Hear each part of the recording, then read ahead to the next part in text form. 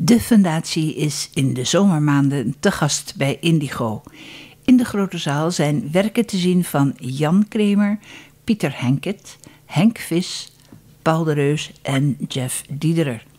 Kunsthistorica Jet van der Sluis Weber wijde in haar openingswoord aandacht aan de verschillende posities die de exposerende kunstenaars innemen.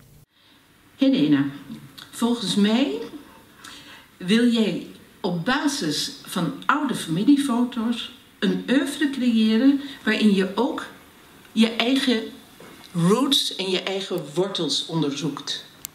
Tegelijkertijd probeer je te verhouden tot de grotere geschiedenis en je eigen tijd. Omdat je een heel sterk besef hebt dat ieder individu eigenlijk een eiland vormt in zijn eigen tijd. Helena Hogenraad, wat beweegt jou in de kunst? Nou, mijn werk is geïnspireerd op familiefoto's. Uh, ik zoek zelf familiefoto's uit mijn eigen archief op. En uh, het werk waar we nu bij staan is bijvoorbeeld geïnspireerd op een foto van mijn opa, die ik nooit heb gekend.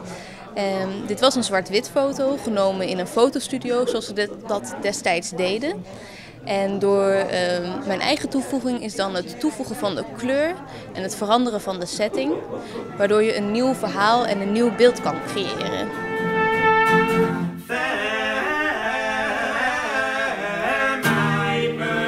Dan geef ik je de tijd en dan zoek ik. Het duo De Geldwolven met Luc Hudepool, trompet, zang en gitaar, en Ruben Nozai, zang en gitaar, zorgde voor de muzikale omlijsting. Je bent onafhankelijk kunstenaar, nog niet zo lang hè? Nee, dat klopt. Ik ben in 2015 afgestudeerd bij de Aki Artist in Enschede in de richting Fine Art Painting. En sindsdien ben ik bezig geweest. Ja. Ik heb in 2015 na mijn afstuderen het Hartfund gewonnen. En uh, dat is een beurs waardoor ik een werkstudio heb gekregen en een werkbeurs, dus om de materiaalkosten te vergoeden. En zodoende heb ik me op die manier kunnen verder ontwikkelen.